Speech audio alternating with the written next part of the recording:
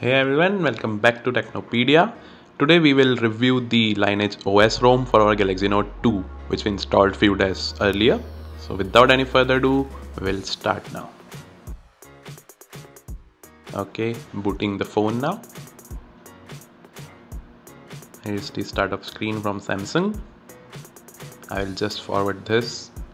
Here's the boot animation which we get in this ROM. It's a cool Lineage OS animation as you guys can see. Okay so our phone has booted. We'll jump into the settings first. Okay. Here are the settings. And on the about phone tab we can see the android version straight away. Okay. Going inside gives us more details about this ROM. As you can see the build date kernel version okay android security level. That's really nice. We do have a delta updates option and we did got an update after which the performance was improved a bit. But currently we are up to date. Okay. We were using this ROM from couple of days and it performed really well. Okay. Here are the scrollable toggles we can edit them as well.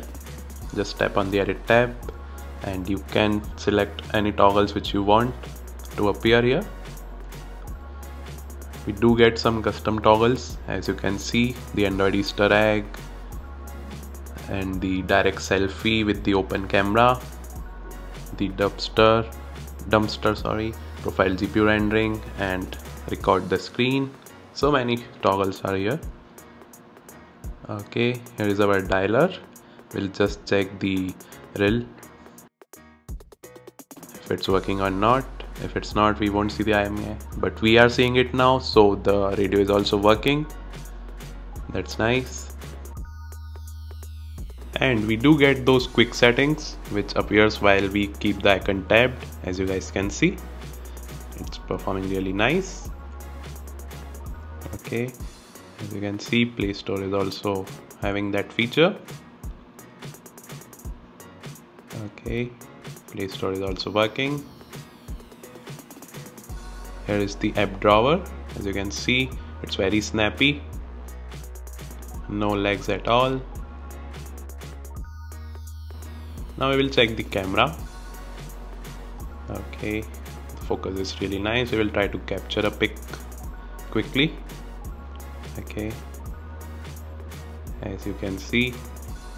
Oops. Okay one second. I think it's too close. We'll just take it further. Okay as you can see. Focus is also working nice. Well here's my iPhone 7 Plus with which I am currently recording. Okay now I will try to play the music app which is Wynk Music. Okay. The sound quality on this ROM is uh, pretty nice. We will quickly open the sound meter app on our another phone and check the sound levels. Okay as you can see we are getting a decent sound quality out of this ROM. So no doubts with the sound quality. So jumping into the settings again and we will check some additional features. Let's jump into the display. As you can see we get a bunch of options in the display. There's the night light option. Okay. We do get the expanded desktop. Okay that's nice. We also have screenshot type which will allow us to take a custom screenshots when we will select the other option that's a nice thing. Here's the screensaver and nice thing is the ambient display. As you can see it gives us a quick glance of the any notifications which arise. Okay. Turning on the hand wave option will disable the proximity wake option. So we can't use them both together obviously as they use the proximity sensor. Okay. The hand wave will wake the screen if we have checked the last option. As you can see proximity wake now we will try the pocket mode. And just flip the phone over. And we'll see if it gives us a quick glance. Okay as you can see it's working really nice. So overall the ROM is pretty decent. No performance issues coming to the battery part this ROM does require more charging time as compared to the stock ROM and regarding the backup it's it is not as great as the stock ROM so that's not a good thing.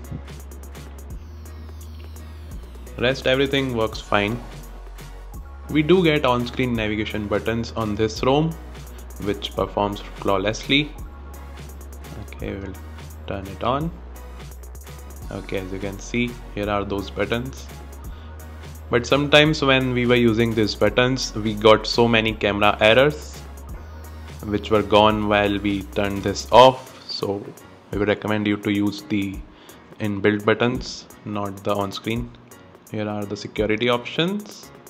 We get those additional settings also as you can see. So many additional settings are available to play with that's a nice thing. Now coming to the developer options. We didn't make any changes in this. We just did some changes in the animation scale and the duration. As you can see by default it was like 1.5 or something. So we turned it 2.5 which gives us a pretty decent performance as you can see.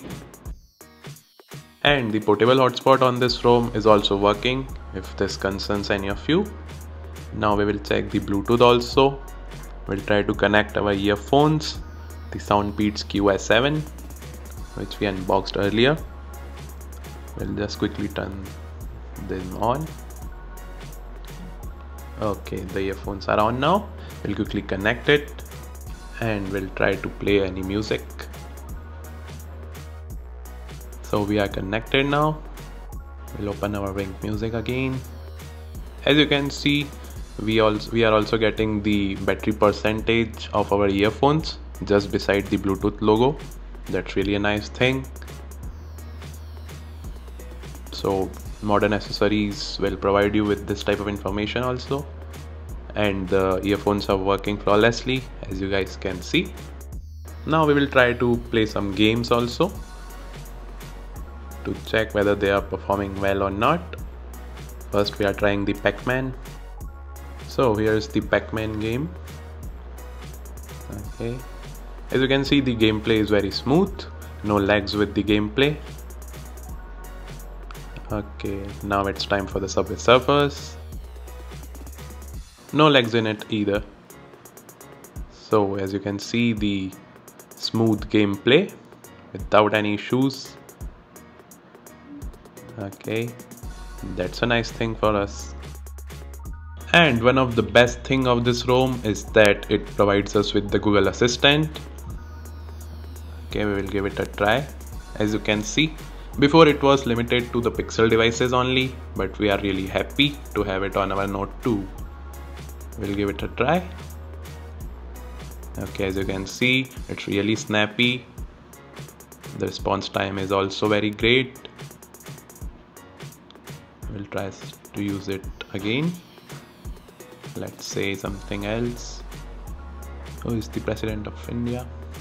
As you can see the Google Assistant is performing really nice. It also sets an alarm for us. We'll try it. Okay as you can see we can also start the timer.